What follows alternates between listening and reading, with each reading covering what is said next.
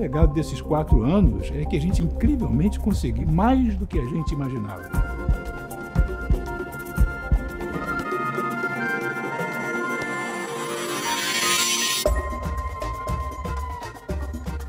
poder abrir suas portas para um público diverso. Que leve em consideração o contato com o público e poder criar a sua programação com eles. Que eles possam sair com um sentimento de pertencimento, de aproximação, de criação de afeto.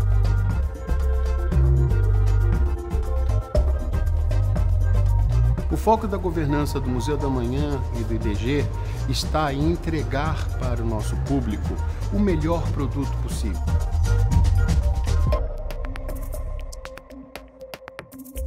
O Museu do Amanhã recebeu hoje em Londres o Leading Culture Destinations Award. Considerado simplesmente o Oscar dos museus.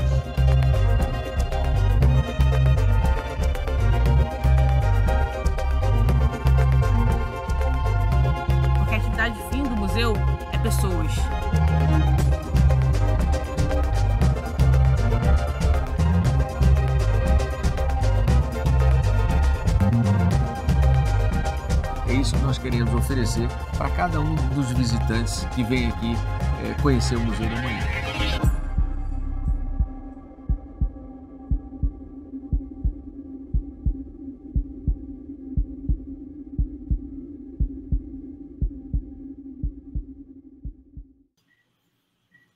Olá a todos, bem-vindos e bem-vindas ao Museu do Amanhã.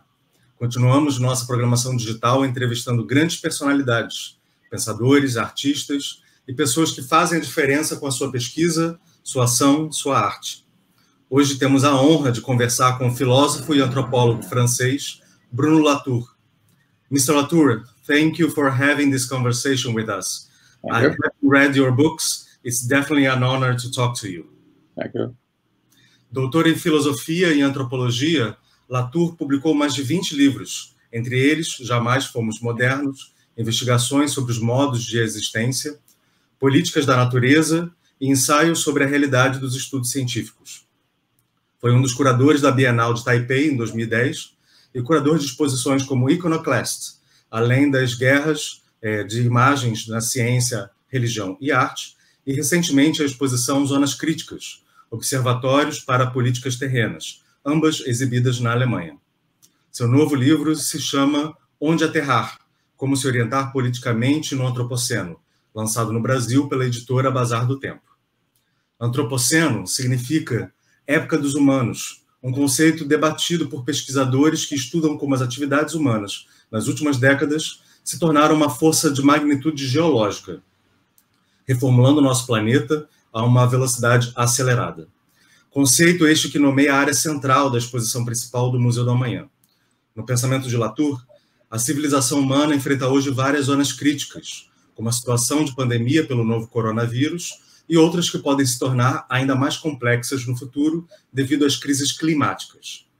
Para, para analisar como esses desafios podem impactar as sociedades atuais e futuras, Bruno Latour tem escrito, por exemplo, sobre a pandemia e sua relação com o projeto moderno que instalamos sobre o mundo nas últimas décadas, indiferente aos limites ambientais. Quais novas atitudes cidadãs e cuidados com as formas de vida são necessários para gerar um cenário próspero para a maioria dos seres vivos? Nesta entrevista para o Museu da Manhã, Bruno conversará conosco sobre a necessidade de uma nova relação entre as pessoas e o mundo natural, a fim de diminuir os efeitos das mudanças climáticas nos ecossistemas e, em última instância, em nós mesmos. Mr. Latour, you have recently launched a book in Brazil named Down to Earth Politics in the New Climate Regime, a few, year, a few years later than Europe.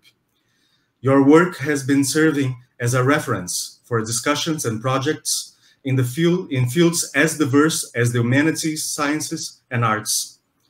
If the new climatic regime, a sort of a new world pol political order, according to ACNUR, the UN Agency for Refugees, might set the largest migration wave ever in the near future.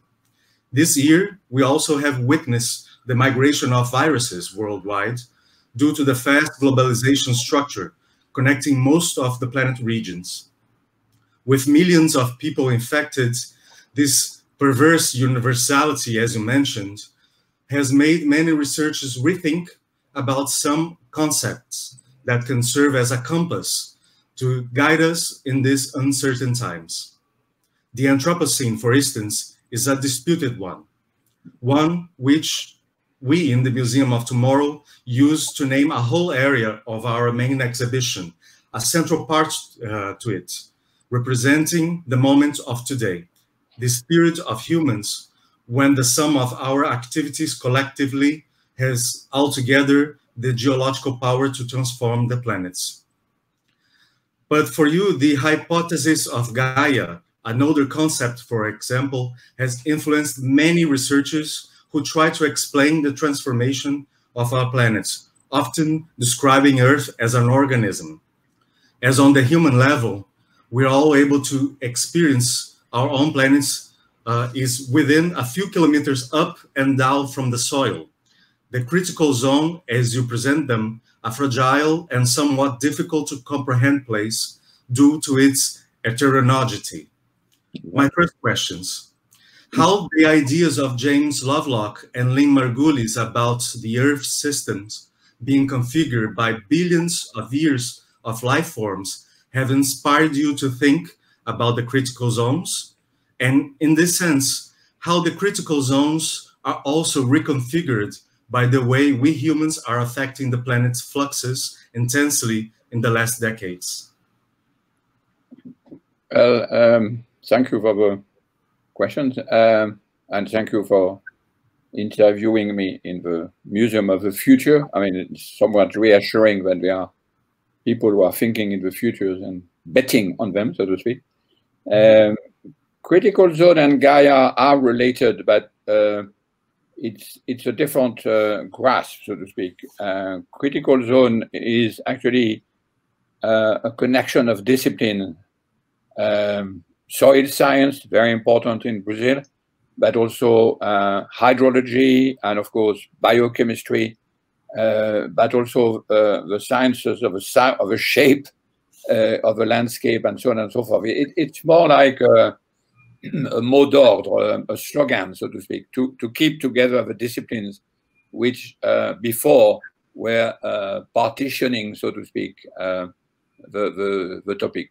And second critical zone, in my understanding of it, I'm doing an exhibit on that in, in, in Karlsruhe in Germany, uh, is a shift in understanding uh, our own um, cosmology, so to speak. And that, that's where it gains uh, a sort of anthropological or, or philosophical uh, weight, which is not, of course, the, go the goal of a scientist I've, I've been studying and cooperating with.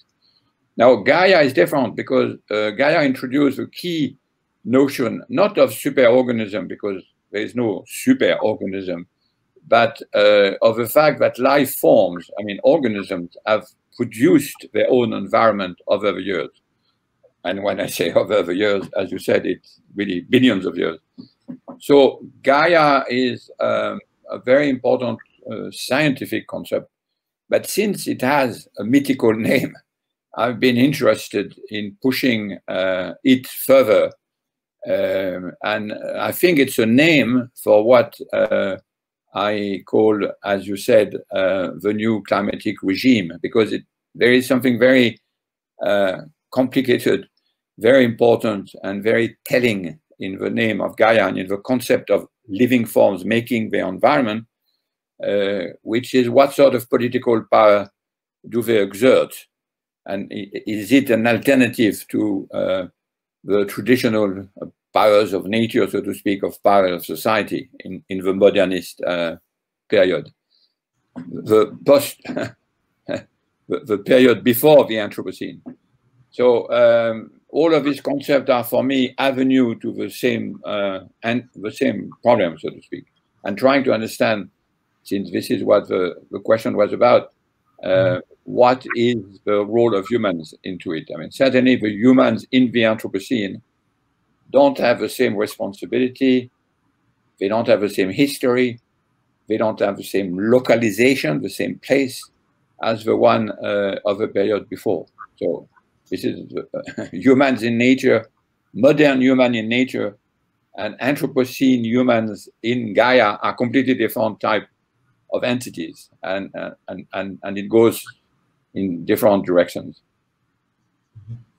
Yes, but at the same time, we're living a political scenario that is makes it even more challenging.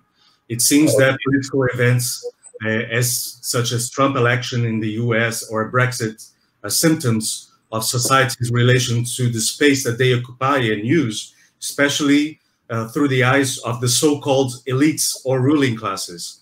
Thus, the, the rise of political populism and its desire to go back to the past, which are imaginary versions of what could be what would have been the land uh, years ago. Uh, in this way, they are not real countries. But the land of the globalists uh, is just as imaginary because uh, they are uh, they force an infinite modernization without limits to the planet. Uh, why is it not possible to analyze the political power of elites of the last decades without addressing the emergency of climate change and its effects over biomes and even on our concept of space itself? Well, you said it very well. Uh, most people actually uh, the most commentator of the populism in the US as well as in Brazil, actually, uh, or in England or, or France, uh, are not taking into account this extraordinary uh, feature of the question, which is that uh, people don't have the same definition of a planet on which we live. So, uh, I mean, you said it very well. In the, the, the what what we call populism, I don't think has anything to do with what was populism before, which was a sort of uh, staying with the past. But uh, neither uh, in Brazil nor in the US it has anything to do with the past exactly. It has something with something else, something out of this world, so to speak, uh, which I call escapism. So in a way uh, populism probably uh, describe an attachment to the land, but it's an imaginary land. It's a land which has precisely even less uh, materiality, even less complexity, even less fragility uh, than the one imagined by the globalists uh, who were thinking of sort of horizon of progress and abundance for all. Uh, so paradoxically, the, the populists who are always talking about the land uh, are actually talking about the land that does not exist. Uh, so this is the responsibility that we have. We have two movements, one globalist and the other one, uh, which is not, uh, which is, let's call it populist, uh, who, who, have who are estranged from the land. In spite of the uh, obsession for identity and in spite of the attention for locality and roots, it has no roots actually, and that's the big problem. The people who talk about roots are uprooted, and and that makes political life extremely tense, as you know. Mm-hmm. Alas, too well in Brazil. Yes, yes. It's uh, it's some sort of also because due to the superficial contents that they have, they always seem to have an attack uh, situation to it in order not to address the challenges that they have to address, I think, especially in the environmental uh, issues that we are now facing. That it was, you know, the growth of deforestation in the Amazon and also climate changes that are already having its impacts, especially in the low income classes, I think. I think that your book offers also a detailed analysis of the contemporary geopolitical context in that sense. But how could you explain the links of phenomena such as the loosening of governmental or regulations, the explosion of social inequalities, the ecological collapse, climate denial, and the widespread of populism? Those, those is that those things can be somewhat connected? Well, if you decide to go away and uh, don't care for the place where you are, um, basically, I think all these phenomena are related. I mean, historically, there is something happening in the 1980s and 1990s, which has been studied by many people, historians, uh, economists, of course, anthropologists, which is this sudden shift uh, into the way the elite, let's say, I mean, this is not a good word, but uh, feel that they no longer have to play the game of being at the forefront of the whole uh, people.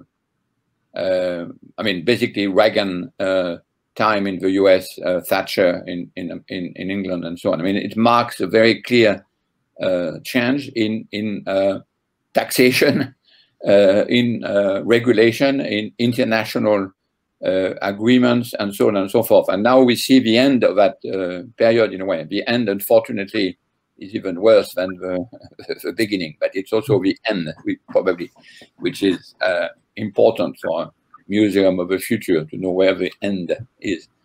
Uh, and this movement has, has suddenly uh, triggered, um, I mean, or connected, let's say, uh, a definition of inequality and a definition of economic infinite uh, progress with something which later in the year 2000 uh, became uh, um, sort of entrenched into uh, denial. But it's not denial of climate only, as we see it with the COVID-19. it's a general denial. Anyone who talks about anything having to do with the limits uh, of the past uh, has to uh, be uh, contested. Mm-hmm. So it, it's a it's a generalized dino, denial by people who want to stay in their in their old ways, basically. And uh, so it's not a cognitive denial. It's not a lack of information. It's not a lack of uh, logic or reasoning power.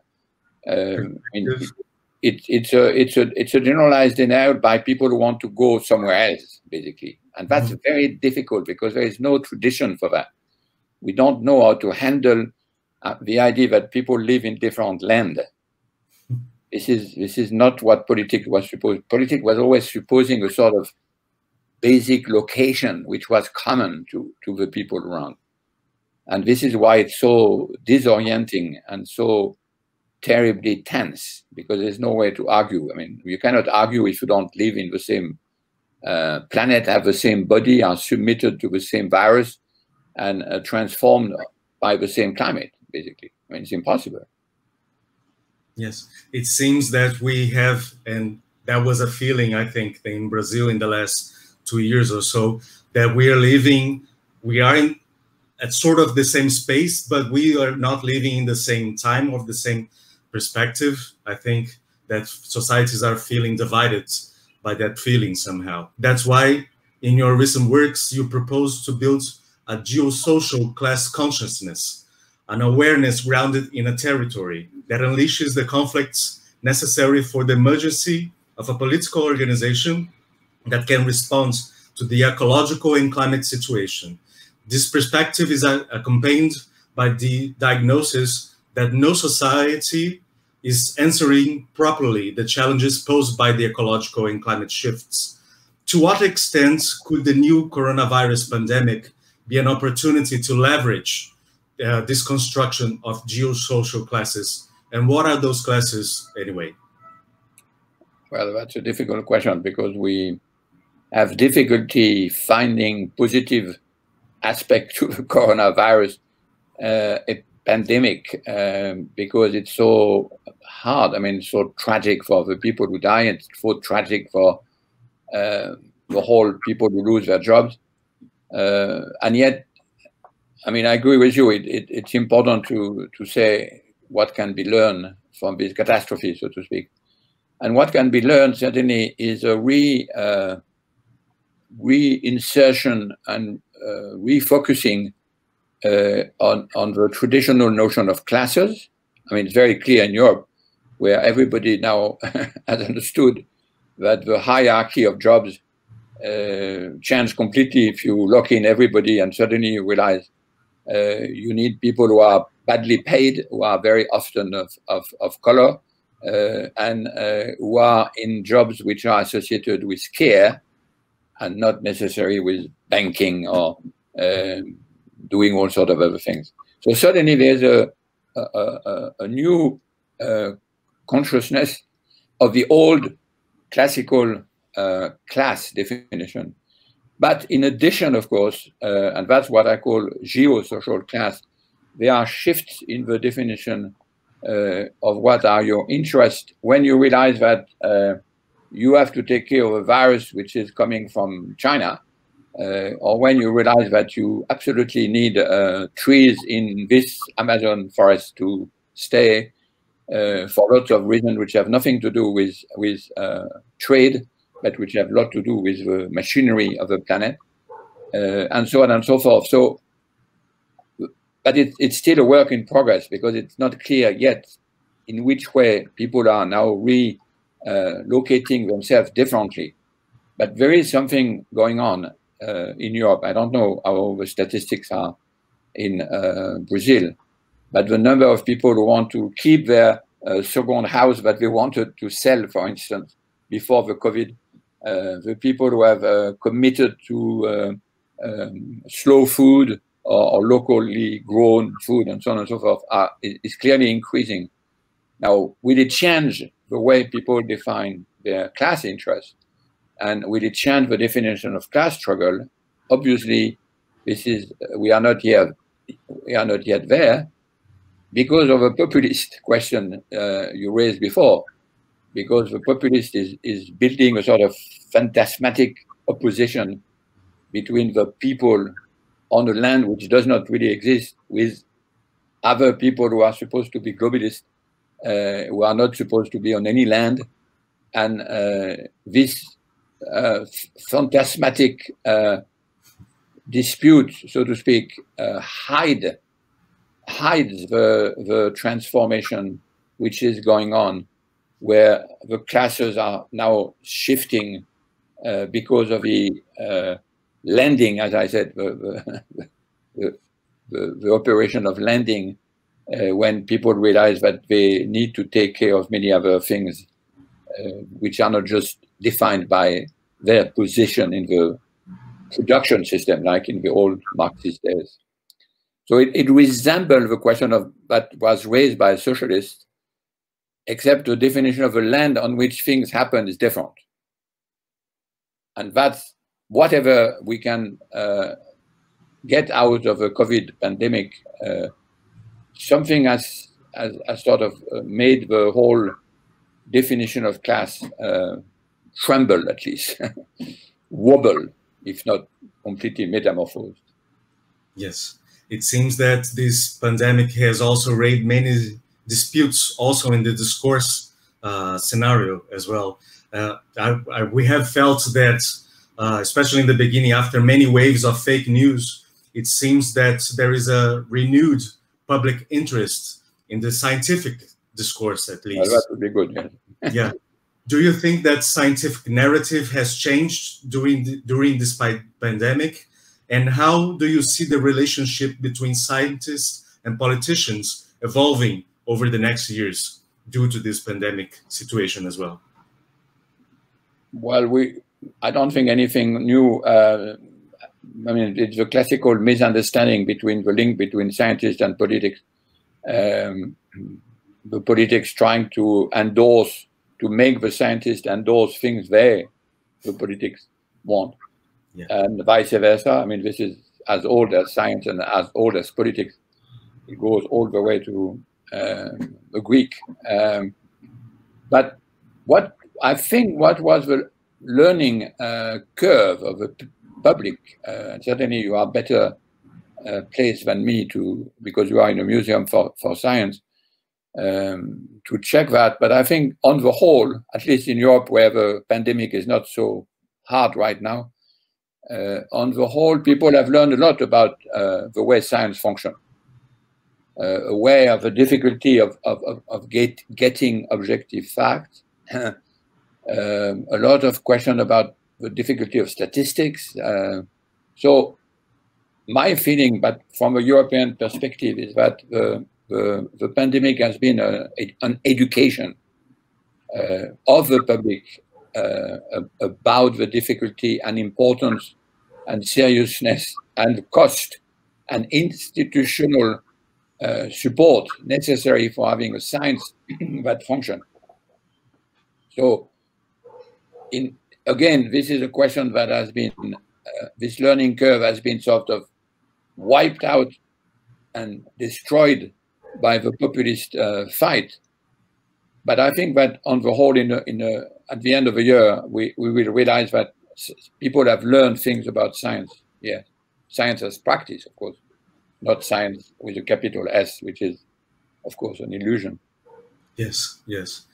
I think that it's. Uh, I think that these also this discourse. We think that hopefully people will be more aware of the importance of science discussions and try to get a better understanding of how science works, especially now that people are looking uh, for a vaccine uh, and trying to understand how the vaccine process also works. But we're always aware in the Museum of Tomorrow at uh, how are people going to have access to those uh, to those innovations in science. It's not just about the innovation itself, but also about access, because we're seeing a ever-growing inequality in society in, in that sense as well. Um, and we're, since we're talking about the, the also the uh, consequences of the pandemic, I'm not aware if in Europe the use of masks during uh, the pandemic, uh, during this pandemic, uh, has had a political symbolism to it. But here in Brazil, some followers of the extreme right-wing presidents are just as him, not wearing any masks in the streets. Uh, it is as if they were inhabiting another world where uh, the virus is not to be feared, uh, denying all the scientific and health organizations' guidelines. Uh, if is it still possible to construct a common development horizon towards where the majority of the population can agree with? And if so, how to build it, this horizon in common? uh, it's the same in the US, actually. Uh, mask has become a signal. The not wearing mask has become a signal of individualism yes. and the decision um, and I think you're right. It, it's it's in a small scale, the same decision as the one that the U.S. Uh, made of being and moving to another planet. Uh, it also interestingly means that uh, you don't want to be dependent on, on so many non-human entities, and the virus is one, and the climate uh, is another. So there is it it it, it is a um, I don't think you can really build a pedagogical um, trajectory to convince people uh, because it's not cognitive again. It's not about the lack of understanding. Uh, it, it's it's a decision not to listen to anything which is uh, adjusted or um, um, part uh, of this uh, what they call a conspiracy um, to keep, to take to, to bring them back, so to speak, uh, to a world where they would be dependent. I mean, in the US, they are amazing. Uh, I don't speak enough Portuguese, but there isn't enough. I, I watch a lot of uh, these amazing numbers of videos where you see people protesting against the mask, the mask in the name of, I mean, God, uh, freedom, the republic, constitution, and so on, with, with an immense energy, which is difficult to understand. I mean, it's not just derision, it's not fun, it's not in indifference, it's really uh, aggressive, uh, as if they were uh, fighting for their life, even though they work for the life uh, against the life of their fellow citizens. They are exposing themselves and they say that they are fighting against the how to understand that. And they probably have a helmet when they go and they take uh, their bicycle. So, or a secure the, the, the, the belt uh, when they take in, inside the car. Yeah. Their safety belt. So it's very, very odd. It's, it's a, uh, don't know if we'd last very much because it's so bizarre. Uh, it, it's it, it's it's really about moving to another uh, planet. But how long can you think you live in another planet? That's the question. I mean, mm-hmm. inequality is so big that it doesn't. See, this is a big problem. I mean, it's the same in Brazil as in the US. When inequality is so big, you cannot build any common world mm-hmm. because before you have a conversation between reasonable people, as it was said in the past, uh, it was because people didn't have uh, immensely different salaries. They didn't live in completely different place uh, in the cities, and so on and so forth. We we we always attribute to rationality uh, things which are actually due to the institutional setup in which people can actually speak to one another.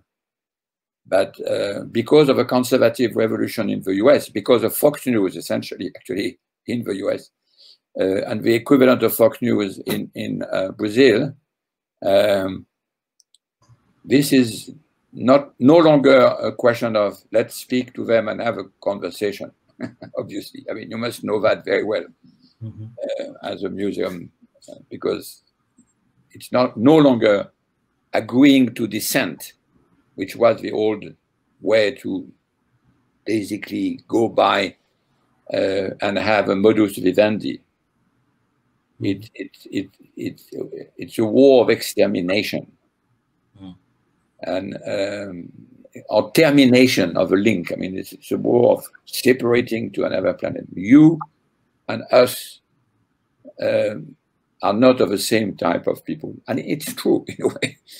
Uh, because living on Earth and living out of Earth is two different things. Yeah. So this is why the, the, the land, the, the, space question, the where where you are in space, and what you expect from the future and what we know from the past, uh, has become anthropologically uh, so important, and and it's so dividing in a way. Mm -hmm. But still, I mean, I I teach and I try to do a lot of things to to make uh, people understand. But it, it's not just understanding; it's actually a way of life. Yeah, sure. Uh, and in saying that, you're trying to create dialogue in a society that is not up for any conversation at the moment. You created uh, the platform uh, Where to Land after the pandemic, which proposes yeah. a set of individual and collective questions and actions that can fun function as gestures to stop the return to modes and rhythms of production before the, the current sanitary uh, and economic crisis. And recently, the exhibition Critical Zones, Observatories of Earthly Politics opened and is going to reopen soon, uh, of which you are the curator. an exhibition whose motto uh, is this thin and complex layer called the critical zone, where all forms of life on Earth co cohabit. Uh, could you please tell us a little bit about those two projects and the possible connections between them in this, in this singularly critical moments that we are experiencing right now? Uh, my uh, hunch is that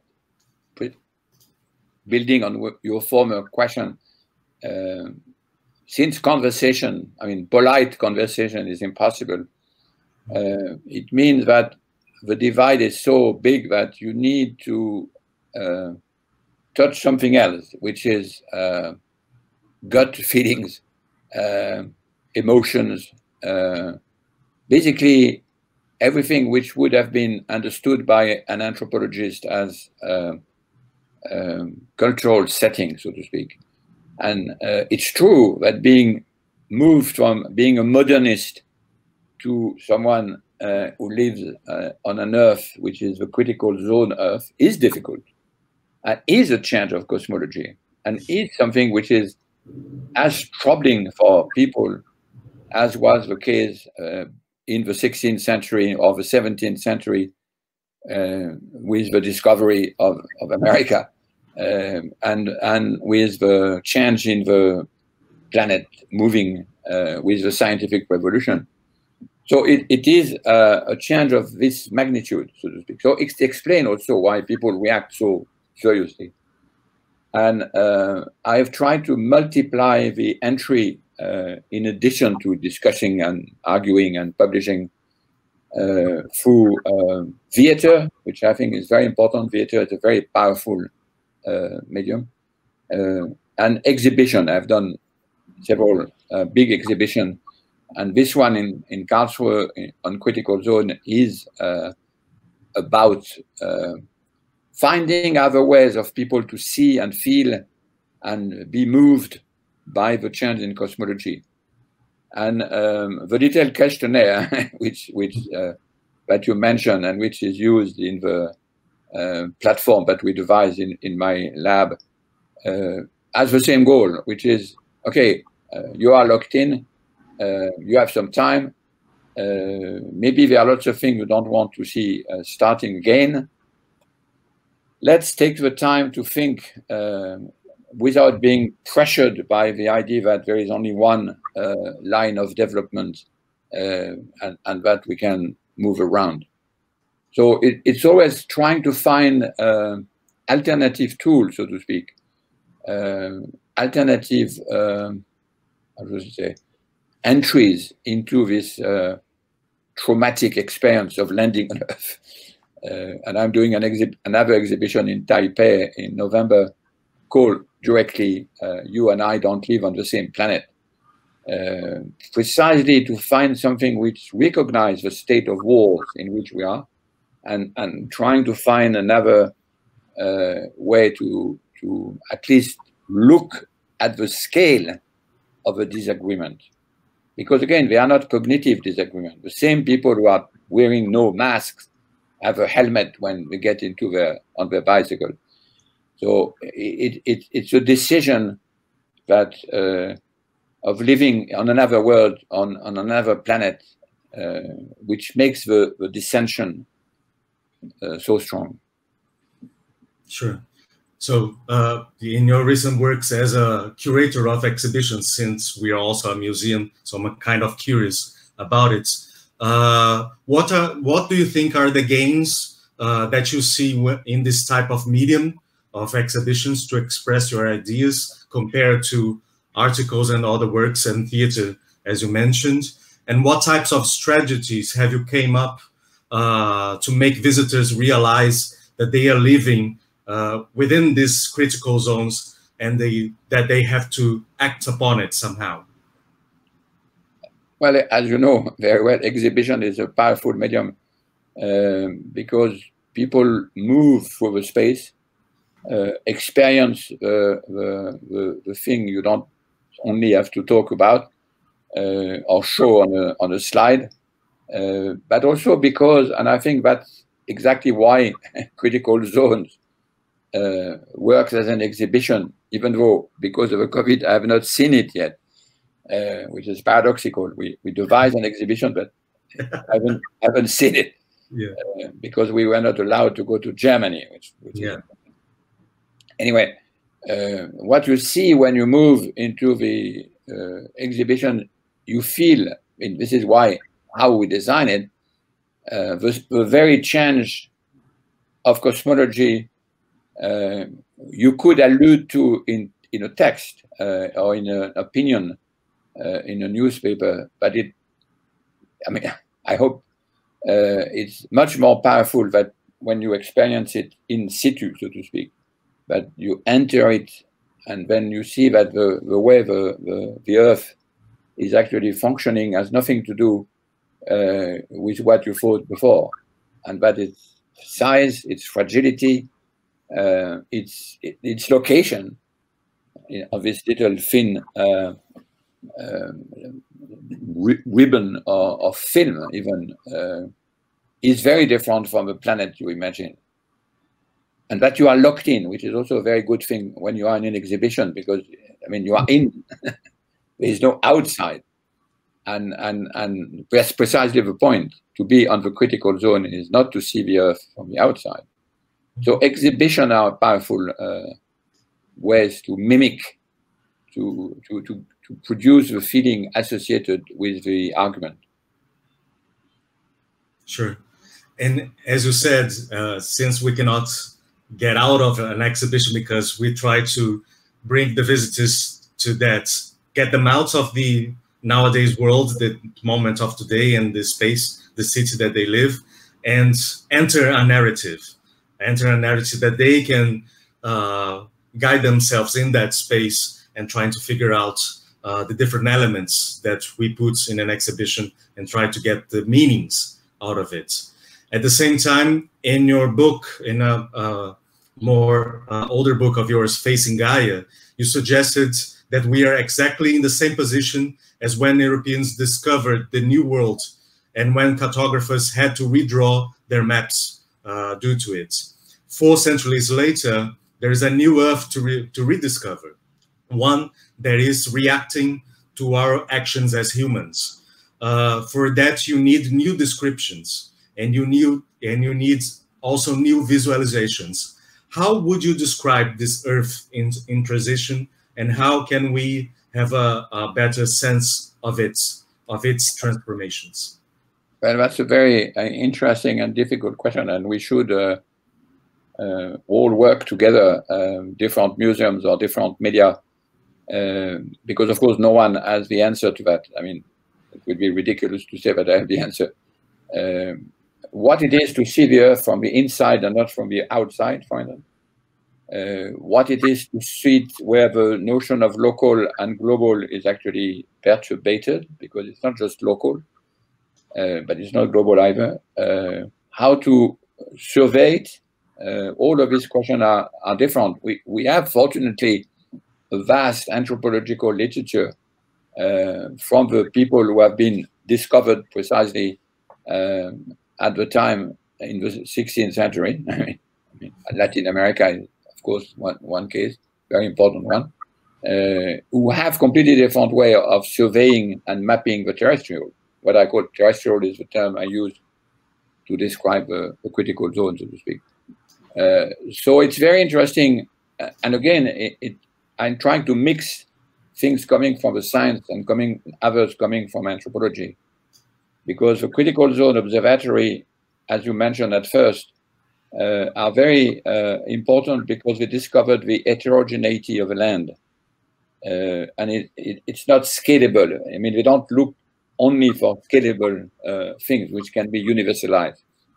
So the to, to map out in this earth which, which, on which we are supposed to land, uh, we need different tools from cartography and geography, but we also need uh, the sciences and many, many, many sciences.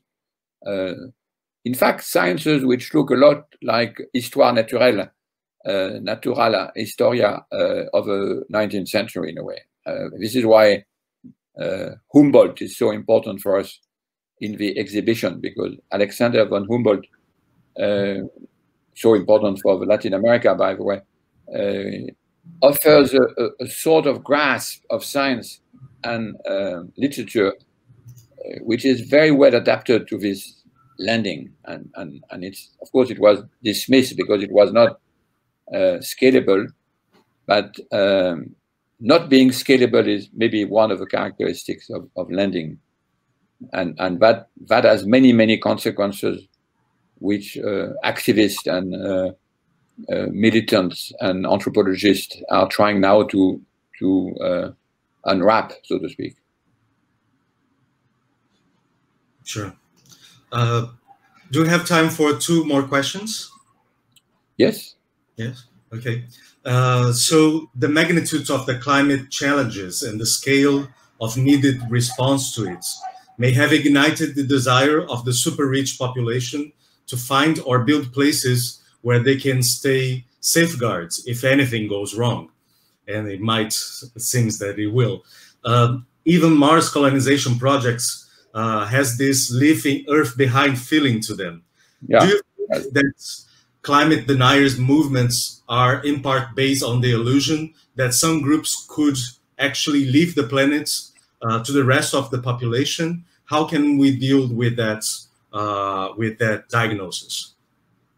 Well, it's a, it, I mean, it's a complete illusion, but people like to be to have illusion of that sort. I mean, it, it, it's a as long as it doesn't destroy all the budgets for the rest of the sciences, I'd say it's rather innocent because it's so, I mean, it, it's so unworkable that uh, I don't think it's so dangerous. I mean, I'm much more worried by populism than by the idea that people can move uh, maybe at most uh, five people or 10 people to Mars. I mean, it, it, the idea that it will solve billions of people on Earth uh, is, I mean, doesn't really uh, need an, uh, an answer.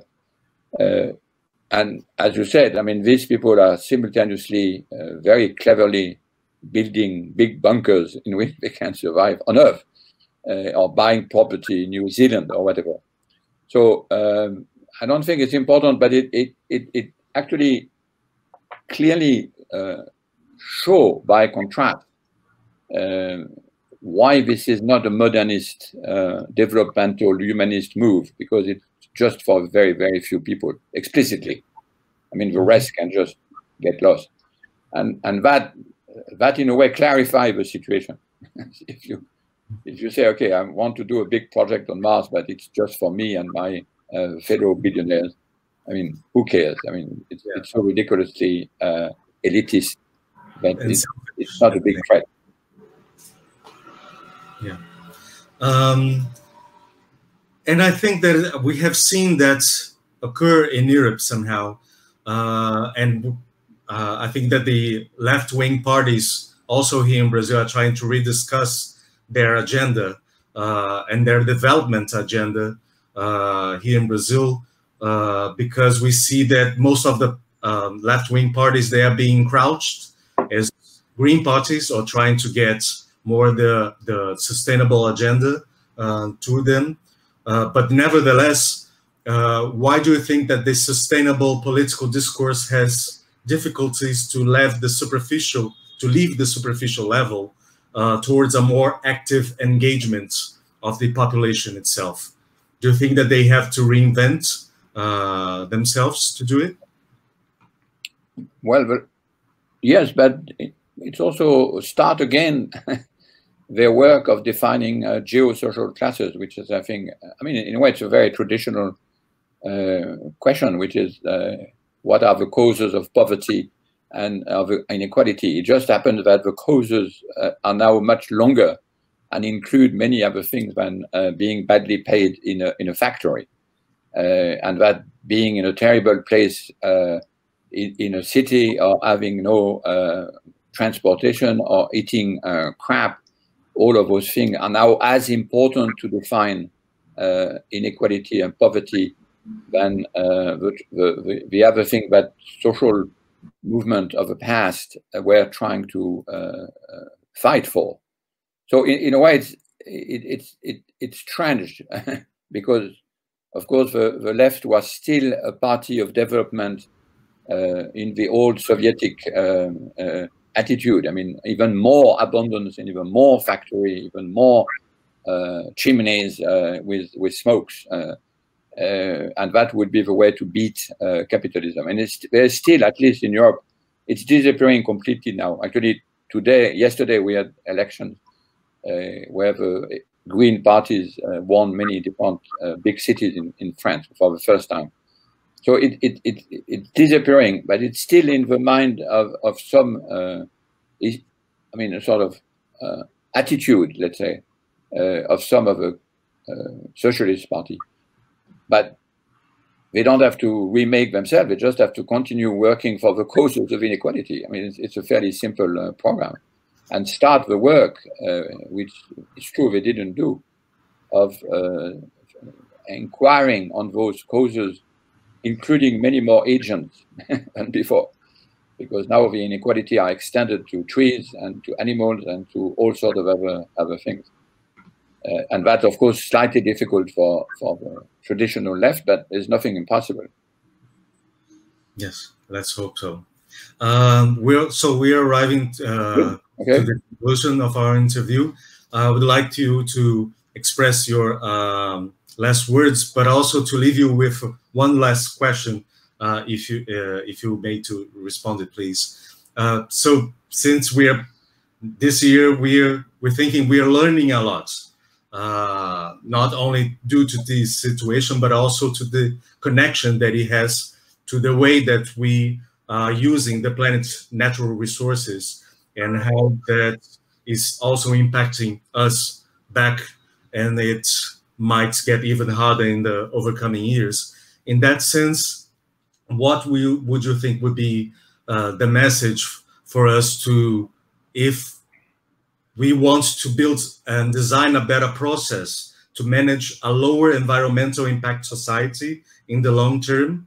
Uh, and in order to do so, uh, what are we willing to sustain or to abandon uh, as a society in order to react to the upcoming climate emergency?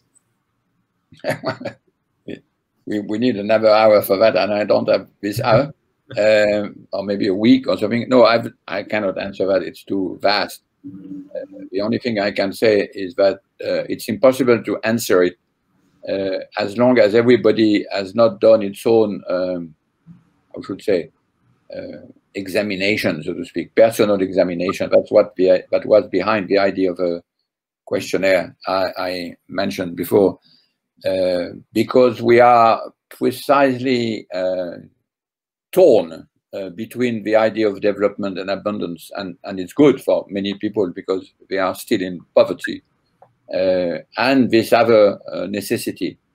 So as long as we have not explored the, the, the, consequences of this internal conflict, it's very difficult to, to work the external conflict, so to speak. And I think that's one of the reasons why we are, uh, we being the, let's say, social left or whatever, uh, disarmed by the violence of a populist uh, movement because we ourselves have not clearly uh, uh, explored our own contradiction. Uh, so it's a difficult moment when simultaneously you have to explore the contradictions and, and also fight. Um, so I, it's, it's not an answerable question. I mean, not by me at least, but collectively, yes, I think we should we should. And uh, we, we're doing all our actions to make people think that, yes, we can. We can do it uh, as individuals and collectively. Uh, I believe that we also can. But we have to think it over uh, and do it together uh, in our, in okay. our groups. So, Mr. Latour, thank you again for your time. You. Your work has continuously oriented new perspectives for social sciences and broadened our view of the world and the dynamics of nowadays society. Thank you very much. Thank you. Bye bye. Muito obrigado também a vocês que nos acompanharam nessa jornada pelo pensamento de um dos maiores filósofos da atualidade. Nossa programação tem muitas novidades pela frente. O Museu da Manhã é o equipamento cultural da Secretaria Municipal de Cultura da cidade do Rio de Janeiro, gerido pelo Instituto de Desenvolvimento e Gestão IDG. Todos os nossos projetos e programações e atividades, em tempos de pandemia ou não, só são possíveis por conta da nossa forte rede de apoiadores, patrocinadores e parceiros, como Banco Santander, Shell, IBM, Endy, Lojas Americanas, Grupo Globo e Fundação Roberto Marinho. A gente agradece a todos eles, mas principalmente a vocês que nos assistem. Obrigado. Thank you, Mr. Latour. Bye bye. Good luck. Bye bye.